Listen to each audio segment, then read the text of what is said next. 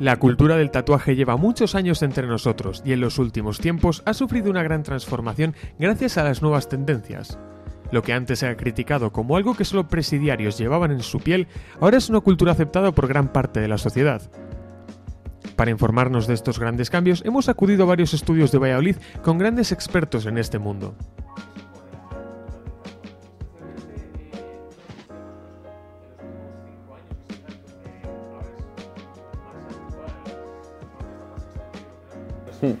Sí sobre, sí, sobre todo en Valladolid. Realmente para la ciudad que somos, que de cara a lo que es fuera de Valladolid tenemos esa imagen de más cerrados de mente, más clásicos.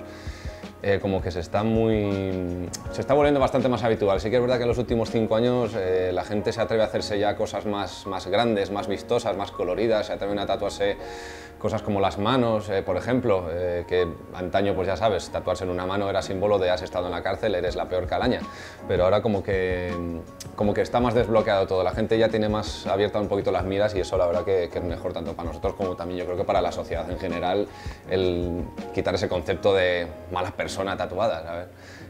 No sabría explicarte, pero es eso, es una forma de vida, es mi forma de vida, es nuestra forma de expresar lo que sentimos, de decir lo que no sabemos soltar lo dibujamos, lo tatuamos. Y además es que yo creo que a cada tatuador le calma un montón, es su manera de decir, fuera mundo, fuera todo, pero ya a mí me pasa cuando estoy, yo que sé, que vengo a lo mejor un poco estresada, un poco tal, en un momento me pongo con la máquina, se me olvida todo y hasta que termino el.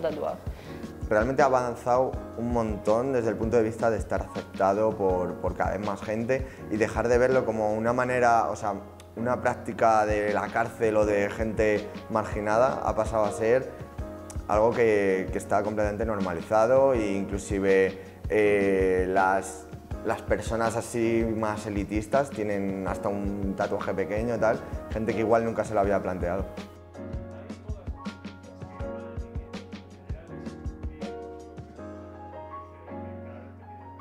Hay un poquito de todo, realmente. O sea, hay mucha gente que se mueve un poquito en plan que lleva mucho tiempo estudiando su tatuaje, decir, pues mira, llevo muchos años queriendo esto, queriendo lo otro, pero sí que es verdad que siempre hay, hay tendencias, siempre, como en todo, realmente. Eh, sobre todo basado pues, en personas famosas. Eh, esto lo tiene un cantante que me gusta, pues yo también me lo quiero hacer. Esto lo tiene un futbolista, también me lo quiero hacer. Entonces, siempre por unas o por otras hay alguna tendencia. Eh, hace 10, 15 años eran los tribales de estos de, pues eso, lo de, la ruta del bacalao y todos estos tribales de antaño que se pusieron tan de moda. Y ahora pues ha evolucionado un poquito a pues yo que sé, más rollo infinitos, tribales maoríes y demás, es un poquito como lo que más se ve digamos en los círculos de la televisión y, y, futbolistas y demás. Y es un poquito pues a veces es un poco esa tendencia la que sigue la gente, pero realmente hay de todo siempre como en todo, igual que están los pantalones campana que han vuelto, los tatuajes es igual, está la moda de los infinitos, queda un poco feo decirlo porque hay muchos, pero es la moda de los infinitos, de los, ¿cómo se llama?, de los atrapasueños, es que van y vuelve y es una pasada.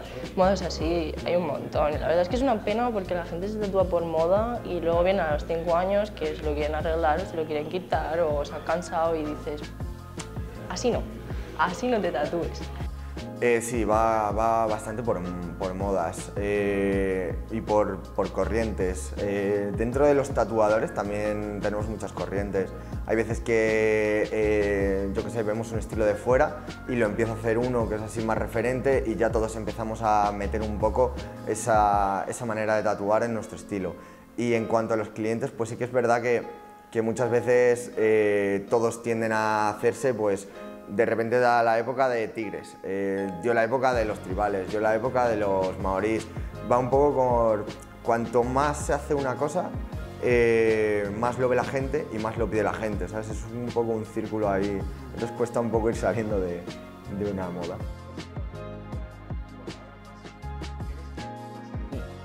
Pues mm, el tatuaje maorí, por ejemplo, se, se, ve bastante, te lo piden bastante, incluso hay gente que te viene pidiendo concretamente, por ejemplo, nos, nos, han venido diciendo quiero el tatuaje que tiene The Rock o quiero el tatuaje que tiene Rafa Mora. Y dices, bueno, lejos de tu opinión tú lo tienes que hacer y tienes que demostrar ese respeto, ¿no? Pero sí que es un poquito más esa tendencia. También ahora como que se han saturado un poquito de los maoríes y ahora sobre todo los chicos se suelen hacer pues rollo brújulas con, con mapas y demás. Las chicas suelen tirar más al infinito o a tatuarse los dedos. Pero vamos, siempre, hay, siempre sale algo nuevo que, que seguir, por así decirlo. Pues yo creo que el estilo que yo hago, línea finita, puntillismo, cosas minimalistas, eso está, está empezando además ahora, sobre todo, pues, fuera de aquí de Valladolid y tal, que la cosa es distinta. Aquí en Valladolid se está empezando a ver un montón, la verdad. Ya te digo, cosas muy finitas, muy minimalistas. Eh, yo creo que está bastante, bastante demandado lo que es el realismo en blanco y negro, también porque es lo que yo hago y es lo que más, más me vienen a pedir. Pero está bastante de moda el meter dentro de un realismo pues algún tipo de puntillismo, el puntillismo, lo que es el dotwork, mandalas y todo eso está bastante, bastante demandado.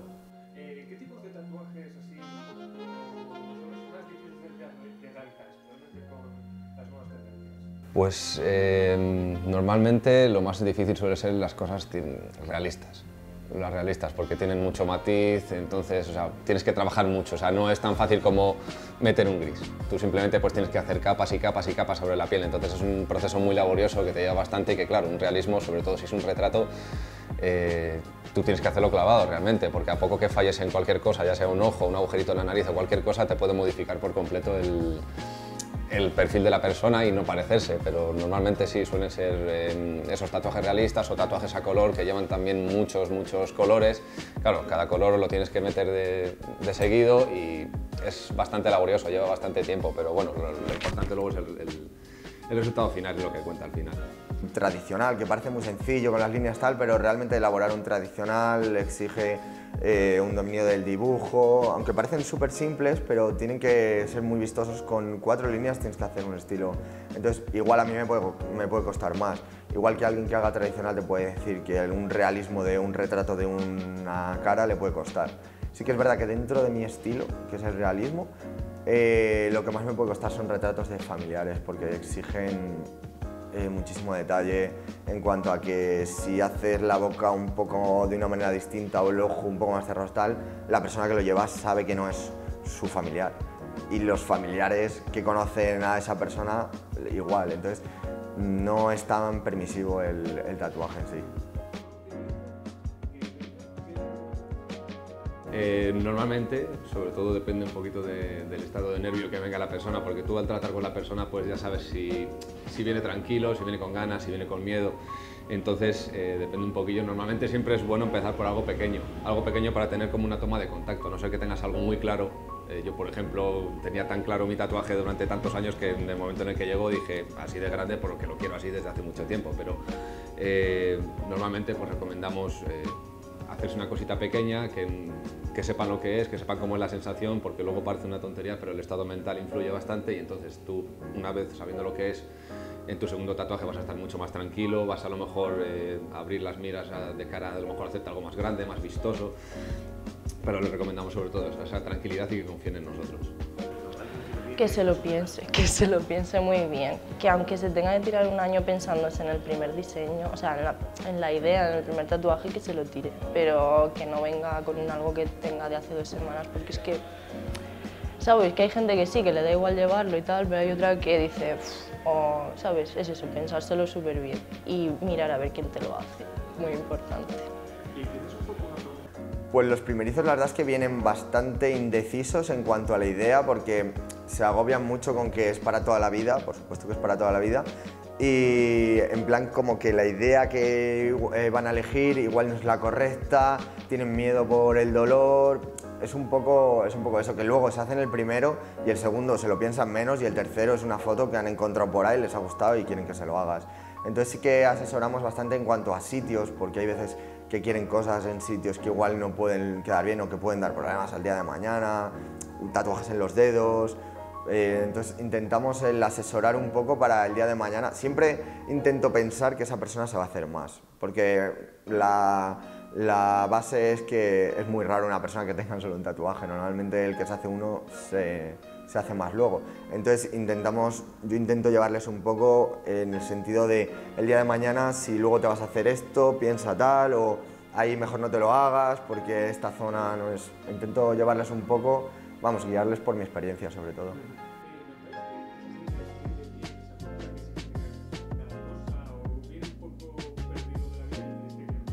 Eh, vienen de las dos maneras, eh, porque, eh, claro, hay veces que pues vienen simplemente por estética, entonces hay veces que les tienes que decir, yo que sé, te vienen pidiendo por ejemplo un tatuaje maori y dicen, quiero este maori, te enseñan la foto y realmente es un estilo polinesio que no tiene nada que ver y tú les tienes que decir, bueno, no es exactamente lo que me estás pidiendo, pero tal, entonces nos da un poco de cosa a veces porque parece que estamos como intentando corregir al cliente, pero realmente le estamos diciendo, oye, realmente lo que te vas a hacer no es lo que tú realmente estás pensando. Entonces, a veces sí que tenemos que guiar a la gente de, de, cara a eso. También hay gente que se deja aconsejar, que me dice, ¿cómo lo harías tú? ¿De qué manera? ¿Lo harías mejor así? ¿Lo harías mejor así? Entonces también eso está bien porque te dan cierta libertad y con más libertad para el artista siempre acaba quedando mejor el tatuaje.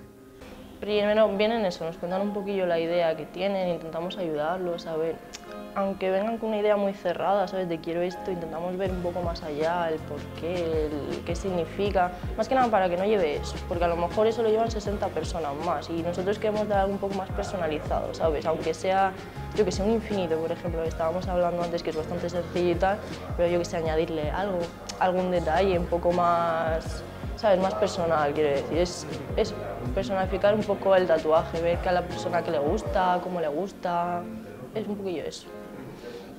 Pues a mí es que realmente me vienen sobre todo en realismo en, blanco y negro. Los animales yo creo que es lo que más, lo que más demandan. Tanto los animales como las caras de chicas.